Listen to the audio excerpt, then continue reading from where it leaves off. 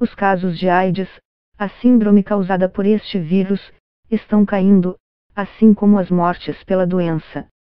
O ano passado também foi o primeiro em que o número de novos casos de HIV notificados diminuiu ligeiramente, após uma década de aumentos. Mas um índice foge desta tendência no mais recente boletim epidemiológico HIV-AIDS, divulgado anualmente pelo Ministério da Saúde, em vez de cair, o número de grávidas diagnosticadas continua a aumentar. Entre 2008 e 2018, o índice passou de 2,1 para 2,9 casos para cada mil nascidos vivos.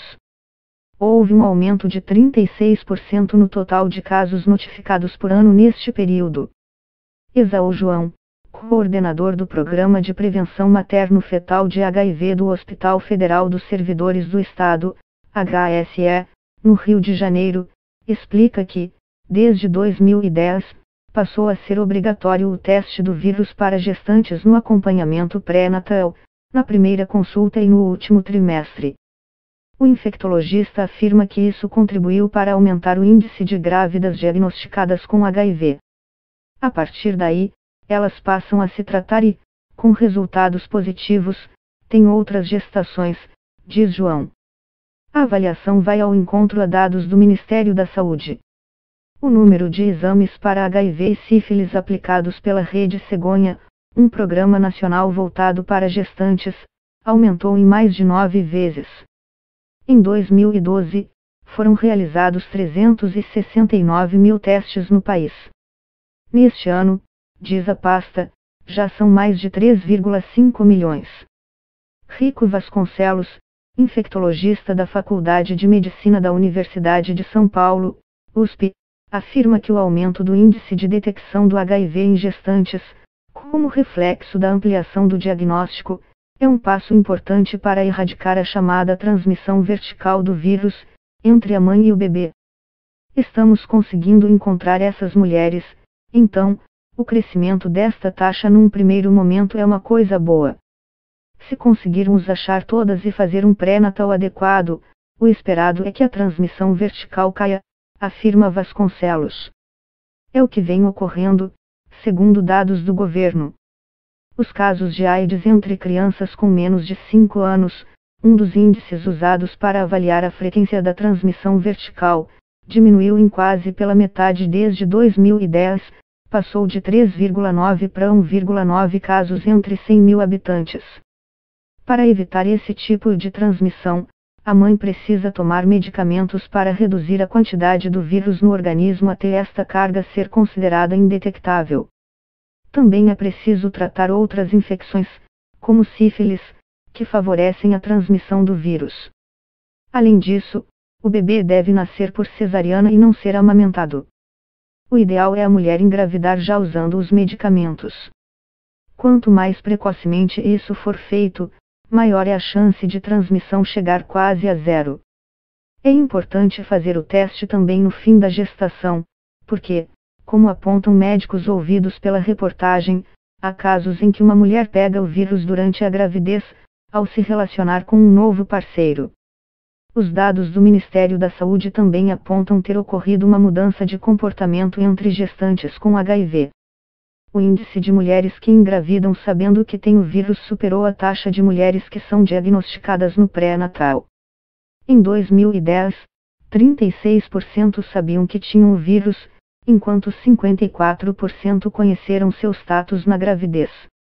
A proporção se inverteu desde então, em 2018, 61% engravidaram cientes do HIV e 31% foram diagnosticadas no pré-natal. Gerson Pereira, diretor do Departamento de Doenças de Condições Crônicas e Infecções Sexualmente Transmissíveis do Ministério da Saúde, atribui isso a uma melhoria do tratamento, o que fez mulheres perceberem que podem engravidar sem transmitir o vírus ao bebê nem ao parceiro. Graças aos medicamentos de hoje, ter HIV passou a ser considerado doença crônica, como diabetes.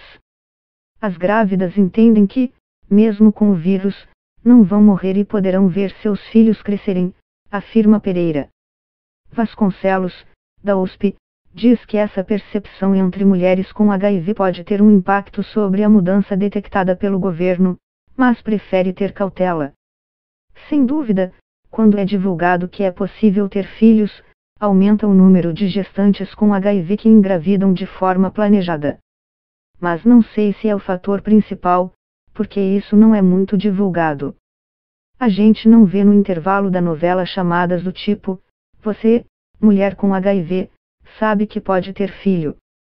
Eduardo Sprins, chefe do Serviço de Infectologia do Hospital de Clínicas de Porto Alegre, afirma que a leitura dos dados pelo Ministério da Saúde é apenas uma das possíveis e que vê em seu cotidiano a influência de outros fatores. Também podemos interpretar como um sinal de que muitas mulheres não sabem se proteger. Muitas vezes, elas simplesmente sabem que têm HIV, não se tratam e continuam a ter filhos, porque engravidam sem planejar ou querem dar um filho a um novo parceiro, afirma Springs. Mas quem são essas mulheres? Os dados oficiais mostram que a maioria das gestantes diagnosticadas com HIV desde o ano 2000 eram pretas ou pardas, 61,7%, tinham entre 20 e 29 anos, 53,9%, e eram analfabetas ou tinham até oitava série incompleta, 42,4%. A epidemia no Brasil evoluiu muito para o lado da população desfavorecida economicamente que muitas vezes vive à margem da sociedade. Estas mulheres sofrem todo tipo de violência, o que faz com que a questão do HIV não seja tão importante na vida delas, diz João, do HSE. As condições socioeconômicas impactam diretamente o risco de pegar HIV. Doenças transmissíveis em geral são doenças relacionadas à pobreza, porque estas pessoas têm menos acesso a medidas de prevenção. Se tem baixa escolaridade, também tem menos acesso a informações sobre como se prevenir, afirma Pereira, do Ministério da Saúde. O boletim do governo federal mostra que a maioria das gestantes com HIV viviam nas regiões Sudeste, 38,1%, e Sul, 30%.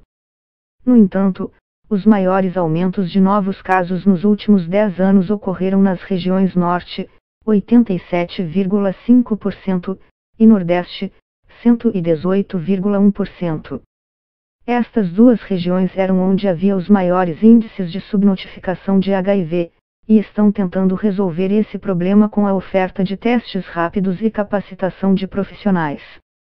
Esse crescimento é positivo, porque, se não fossem diagnosticadas, estas mulheres morreriam de AIDS, mas uma hora isso tem que começar a cair, diz Vasconcelos, da USP. Manuela Alves, infectologista do Centro de Educação e Pesquisa em Saúde Anita Garibaldi, que é referência para atendimento de gestantes com HIV no Rio Grande do Norte, diz que o aumento do diagnóstico se deve à ampliação da testagem, mas ressalta que é preciso fazer uma avaliação cuidadosa. Números de HIV são complexos de entender, porque são influenciados por escolaridade, classe social, gênero. O que houve foi o aumento do número de mulheres diagnosticadas nestas regiões e, infelizmente, isso aconteceu na gravidez, já que é neste momento que o serviço de saúde chega de forma mais ativa a elas, diz Alves. A infectologista ressalta que as regiões Sul e Sudeste ainda apresentam as maiores taxas de HIV entre gestantes. É preciso analisar se há no Norte e Nordeste uma cobertura de exames de HIV similar ao de Sul e Sudeste. A taxa está caindo desde 2015, quando atingiu o pico de 9,5 casos entre mil nascidos vivos, mas ainda é de longe a mais alta do país. Em segundo lugar, Santa Catarina teve 6,1 casos a cada mil nascidos vivos. O quadro é ainda mais grave em Porto Alegre, onde houve 20,2 casos entre mil nascidos vivos em 2018, a maior taxa entre todas as capitais brasileiras. O Rio Grande do Sul tem o terceiro maior número acumulado de diagnósticos de HIV notificados no país desde o ano 2000, também foi o terceiro com a maior taxa de detecção de AIDS em 2018, com 27,2 casos por 100 mil habitantes, apesar do índice ter caído 39,3% em 10 anos. Houve uma queda semelhante, de 34,5%, nas mortes por AIDS, neste período, mas, com 7,8 óbitos por 100 mil habitantes em 2018, o Rio Grande do Sul supera todos os outros estados neste aspecto. Pereira, do Ministério da Saúde, diz que a epidemia de HIV no Rio Grande do Sul e na região sul como um todo apresenta características diferentes de outras partes do país. A epidemia no Brasil é classificada como concentrada, porque há grupos sociais considerados mais vulneráveis, como homens que fazem sexo com homens, travestis, transexuais, profissionais do sexo e usuários de drogas.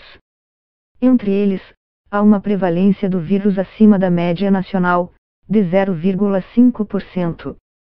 Estudos com gestantes e parturientes, usados para avaliar a prevalência do vírus em uma população, indicam uma taxa de 2% no Rio Grande do Sul, onde a epidemia tende a ser generalizada. No Rio Grande do Sul, é uma epidemia mais heterossexual. Também foi mais comum no estado o uso de drogas injetáveis, que funciona como uma ponte para o vírus para a população em geral, afirma Pereira. Springs, do Hospital de Clínicas de Porto Alegre, diz que tem sido observada no estado uma frequência maior do HIV do subtipo C, sua variante mais comum no mundo e que geralmente é transmitida em relações heterossexuais. Isso indica que uma parte população que não é normalmente considerada vulnerável corre um risco maior do que é esperado. Mas, por não se achar vulnerável, nem pensa em HIV e não se protege, o que leva a mais casos, afirma Springs. O infectologista Ronaldo Alau, da Santa Casa de Misericórdia de Porto Alegre, diz que falhas nas políticas de saúde pública também contribuíram para agravar a epidemia gaúcha. A cobertura das unidades de atenção primária é mais baixa em Porto Alegre do que em outros centros urbanos e, com isso, há menos acesso à prevenção e ao diagnóstico. E o Rio Grande do Sul não aplicou recursos destinados pelo governo federal para o combate ao HIV tão rapidamente quanto outros estados, afirma Lau. No entanto, diz o infectologista, este é apenas um de vários aspectos. A situação que temos hoje é fruto de uma soma de fatores, e não dá para atribuir a só um deles. O que está claro é que a epidemia tem características diferentes aqui e demanda respostas diferentes do que no restante do país.